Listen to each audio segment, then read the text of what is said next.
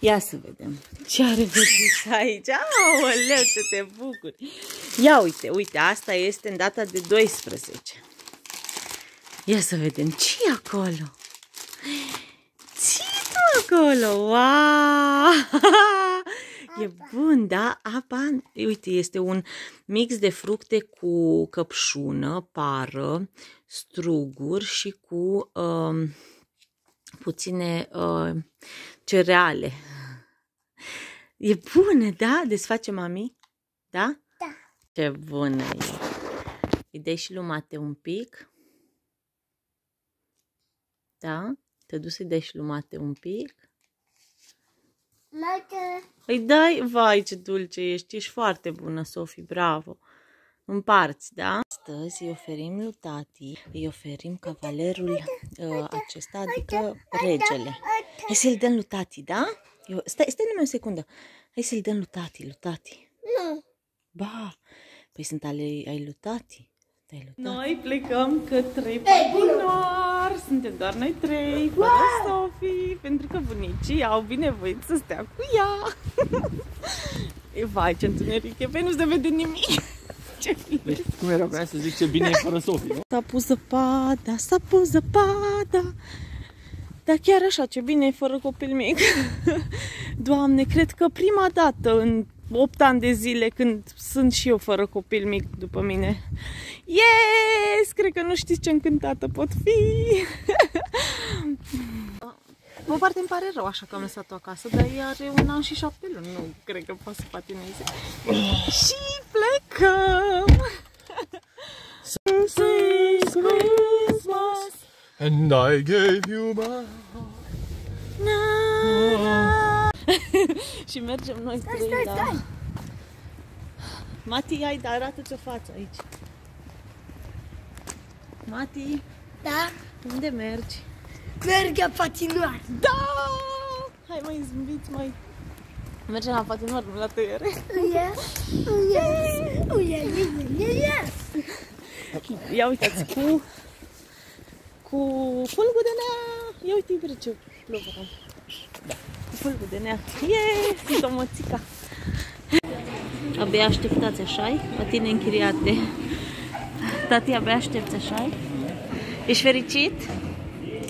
I just hope I won't fall again. Tata, poți să mă ajuți să arăt? Mati, ce faci? Ești fericit? Da. Sunt foarte. La patinele, dar am uitat să-i luăm cască lui Mati și ne-am ne întoarcem puțin. Și apoi mergem pe patinar.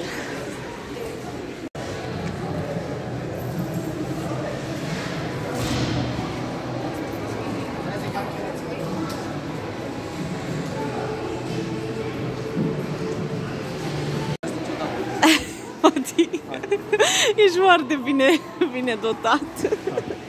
Mati, mai bine. Măi, dar așteptați-mă și pe mine. Mie mi-e frică, să știi. A început să-mi fie frică la patinoară. Doamne, ce greu este după atâta vreme, după, după încă o naștere. E foarte greu să mergi pe patine. E super greu. Nu știu, mi-e frică, sunt aici, deci sunt foarte mulți patinatori ca lumea care îți dau, frate, din picioare și Alex, ia uitați-l pe Alex! Alex e super bun! Bravo! Ia uite-i pe ai mei! Ia uite-i pe ai mei! Dar mie mi-e frică, deci mi-e foarte frică. Uuu, sunt ca bățul, nu pot. Poate cad, doamne, acum cu telefon cu tot.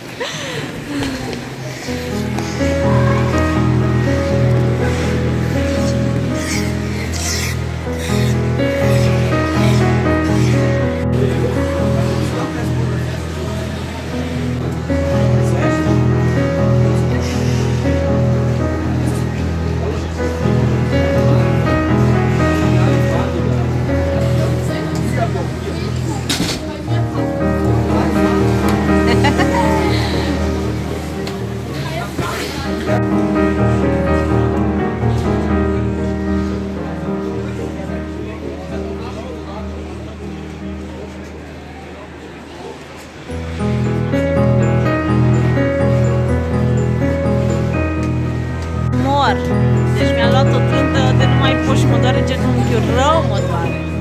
Hai mă, de ce l-am arătat? Ia uite că vine tata! Bravo, tata!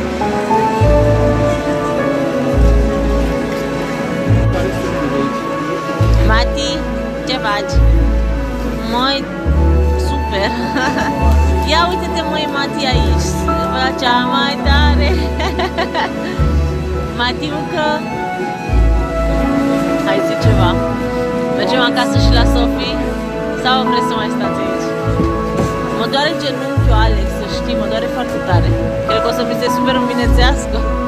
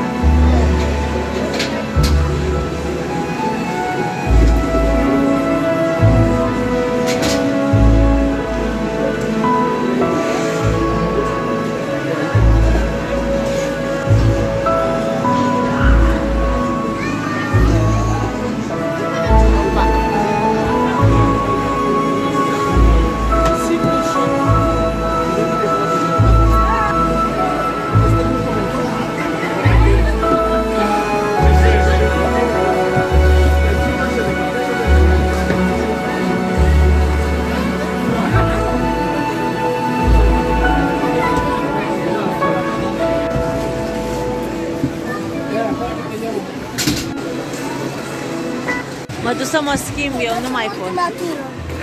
Ultima, ultima tură? Hai, mă iubesc. Aveți grijă. Sunt mândru de tine, totuși nu ți-ai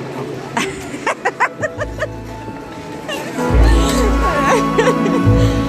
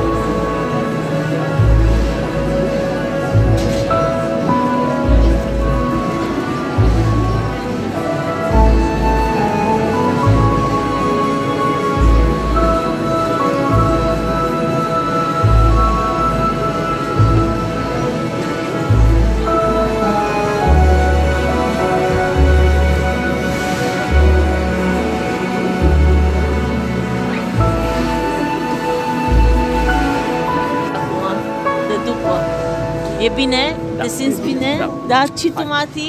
Nu ne-am rupt nimic? Ce bine e pe picioarele noastre! Ei, Ce? merge bine.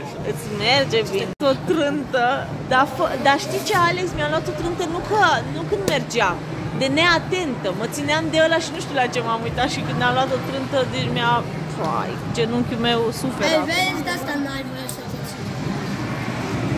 Deci, Mati, Hai zi un cheese. ai cel mai cool tată Zi de aici. cheese. Zi cheese. Și eu sunt.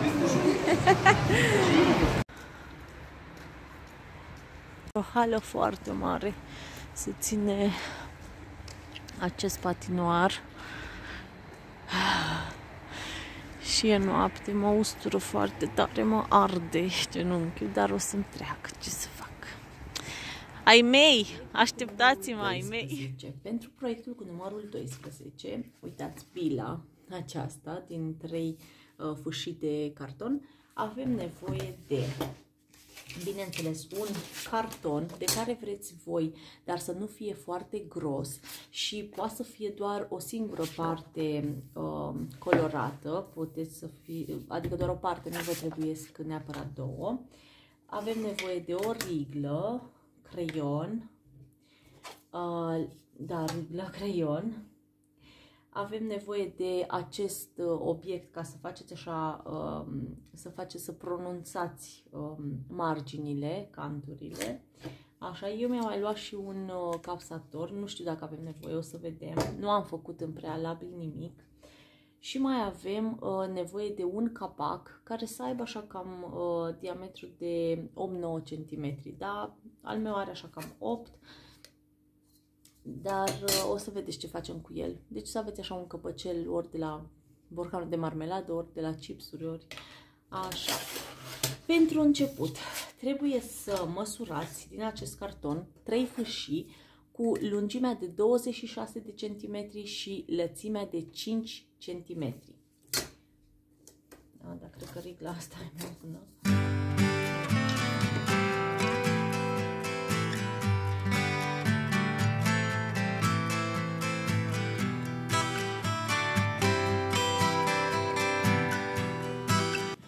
A, și bineînțeles că mai aveți nevoie de o foarfecă pentru a tăia. Uh, Să vă arăt. Mai întâi dăm, a- dăm uh, la o parte surplusul. A rămas aici un surplus, aici un surplus. Mai întâi îndepărtați surplusul și apoi o să vă arăt ce mai facem.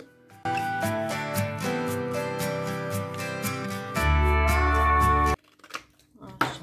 Aceste fâșii trebuie tăiate între ele, dar până să le tăiați, trebuie să vă arăt să faceți ceva cu acest căpăcel. Dar mai întâi, haideți să delimităm, haideți să facem așa uh, liniile, să le unim, să știm că astea sunt fâșii de câte 5 cm.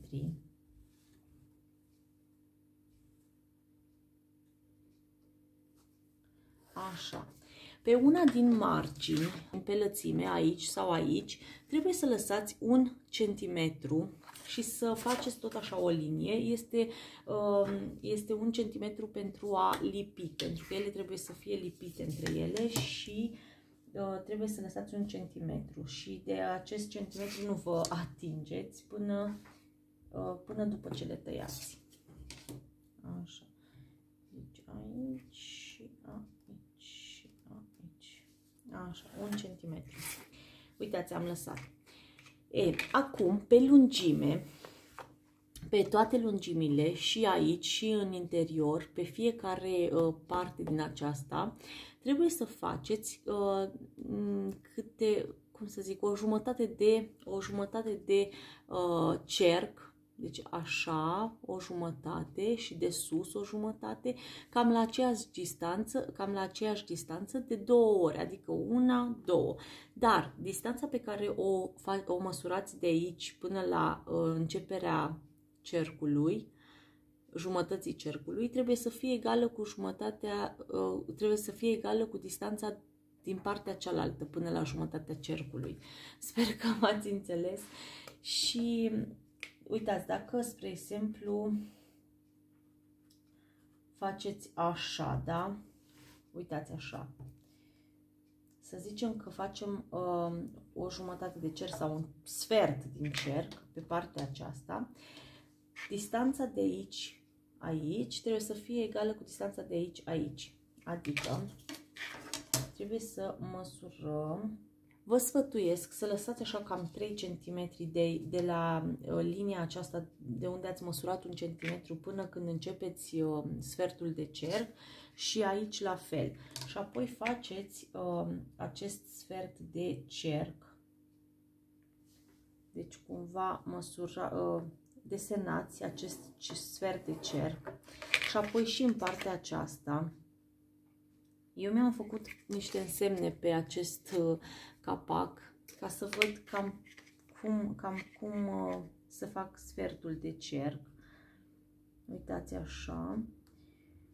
Și după ce ați făcut asta, așa trebuie să faceți la toate celelalte uh, lungimi. Adică să măsurați la toate câte 3 cm și de aici și de aici și să faceți acel, uh, acel sfert de cerc, să-l desenați, practic. Sper că s-a înțeles, nu este așa de greu. O să vedeți că după ce o să tăiem aceste fâșii, uh, sferturile acestea de cerc vor fi uh, mai pronunțate cu acest instrument și apoi trebuie să le îndoim, să le băgăm așa în interior.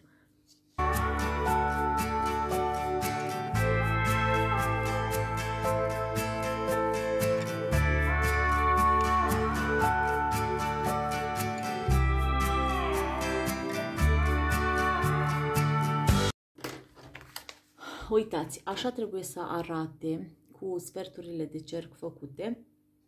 Iar acum o să le uh, tăiem uh, în trei fâșii. După ce le-ați tăiat în trei fâșii, trebuie să faceți chestia asta puțin mai pronunțată și o să vă mai arăt.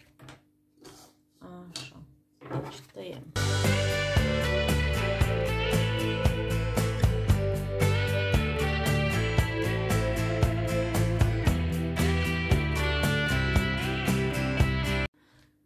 După ce ați uh, făcut uh, chestiile astea mai pronunțate, uitați, eu uh, am modelat practic, acolo unde am făcut mai pronunțat, am modelat așa cu mâinile și pe partea aceasta, dacă nu este cartonul foarte tare, ceea ce vă recomand să nu fie foarte tare, o să, o să vedeți că vi se arată dunga aceasta ce ați pronunțat-o. Practic, um, faceți puțin mai pregnant, așa, încât să arate așa. Deci o bucată ar trebui să arate așa. Chestiile astea să le duceți către interior și să rămână o parte așa. După ce ați făcut asta, vă trebuie și un lipici. Eu, îmi pare rău că nu vă spun la începutul proiectului, pentru că și eu fac... Um, fac acum, nu, adică acum cu voi, nu am făcut uh, Um, extra, că nu am atât de mult timp. Așa, vă mai trebuie un lipici. O să uniți această bucată de, uitați, o să uniți acest carton, încât um, o să aveți chestiile astea așa. Și următoarea va veni uh, tot pe rotund, băgată în asta, iar cealaltă peste toate astea, încât o să fie, o să ne rezulte practic o minge așa, și o să iau și eu să lipesc și vor... Să știți că la mine lipiciul nu prea funcționează. Uh, să știți că i-am pus două capse, sper să nu se vadă așa de urât. Și uh, practic aici unde aveți un centimetru acela nu-l îndoiți, pentru că uitați, este foarte urât. Uh, ar fi mai bine să lăsați așa și apoi să prindeți. Așa.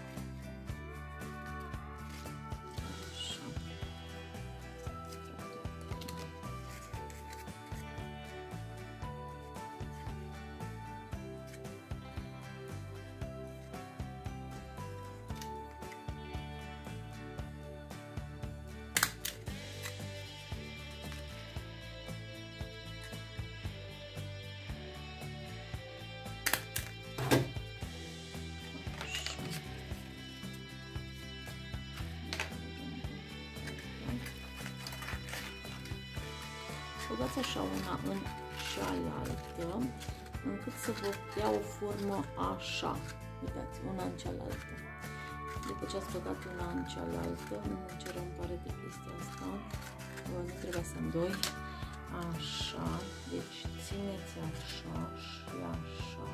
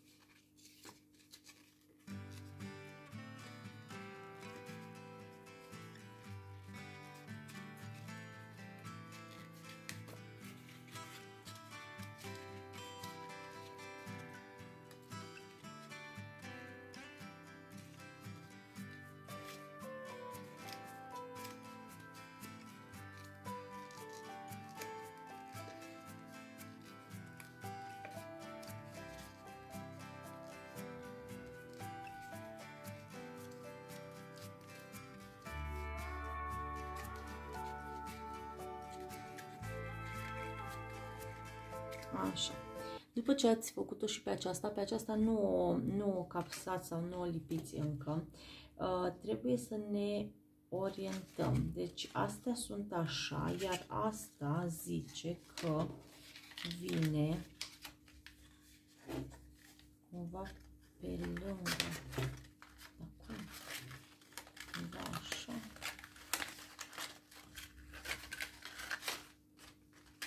Trebuie să băgați chestia asta așa, așa, da. chestia asta așa, încât canturile să-i rămână aproape de cealaltă. Ia să vedem. Up. Deci, așa. Dragilor, deci am băgat una între alta, una în alta. Uh, trebuie să băgați una în alta încât canturile să fie una peste alta. Dar asta stă așa? Ah, nu.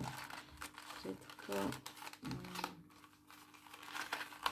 Cred că la asta canturile ar trebui undeva să vină aici afară.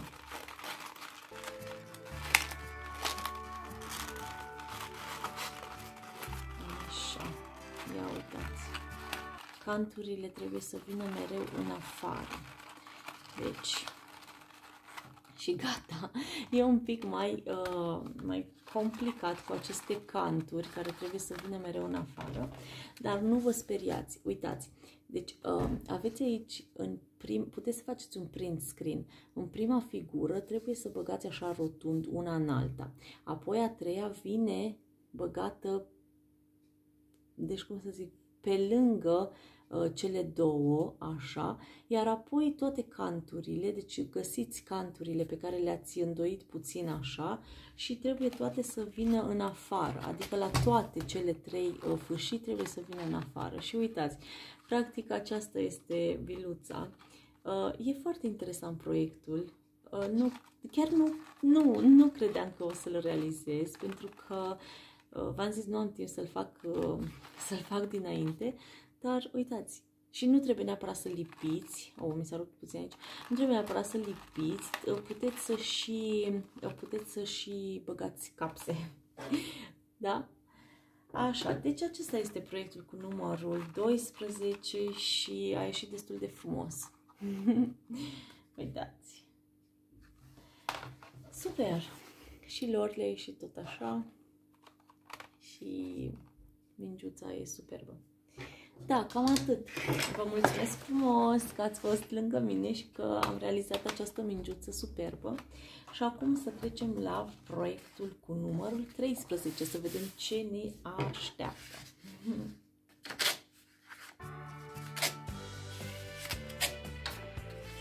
Ui! Uitați! Ce frumos! Ce frumos! se numește Tannenbaum Schmuck Genete Anhänger, adică este un, este un uh, uh, șmuc, este o, uh, cum e la șmuc? Podoabă. Este o podoabă pentru uh, agățat, deci uh, este cusută și agățată, putem să o agățăm în brad, de brad.